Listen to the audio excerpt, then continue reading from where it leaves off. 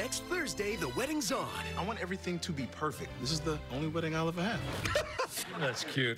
But the bride has a little secret. Your name is Clementine Lawrence Taylor Barnes. How did I not know that? Maybe not so little. Says here you're already married. What? What? How did I not know that, LT? Fam season finale next Thursday.